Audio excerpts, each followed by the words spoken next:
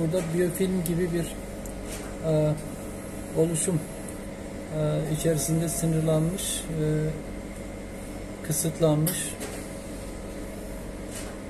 veya korunmuş diyebiliriz. Çok sayıda e, irili ufaklı e, mikroorganizma görülüyor.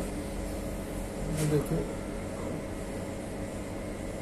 oluşum içerisinde. Başka alanlara baktığımızda da yine çok sayıda Borrelia ile uyumlu kistik ve spiroketal yapının olduğunu görüyoruz. Bu alanda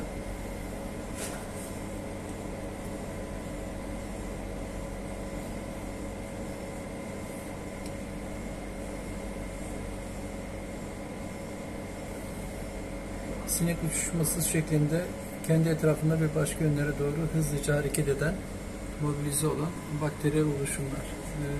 Mikroskopik preparatın alanın her tarafında rastlamak olası.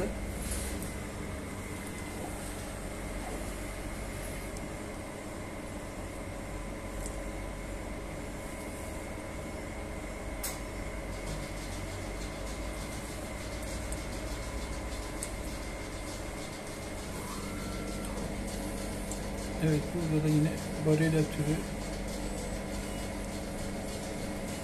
bakterilerle uyumlu yapılar.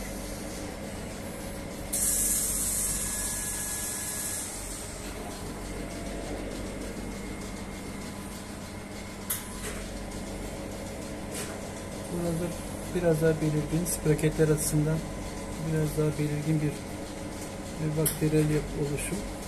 Eritroslerin altında gizlenmek üzere. Zaman zaman dışarı doğru çıkıyor. Biraz takip edelim. Evet, bu bulgularla bu bulgularla karanlık saha mikroskopisi pozitif olarak rapor edilecektir. Borrelia türü bakteriler e, açısından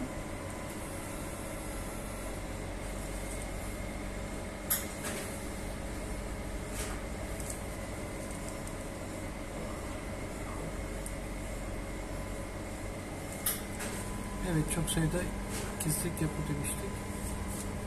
Yapılardan